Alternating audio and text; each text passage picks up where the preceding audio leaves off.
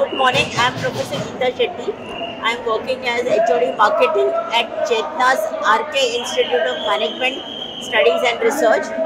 I have taken this exam, Introduction to Marketing Management, as a part of the uh, uh, as a part of learning uh, this subject because I teach this subject to the MMS students of uh, Masters in Management Studies, Mumbai University, and it was a good opportunity of learning this subject because as a faculty we are always on the other side of the table.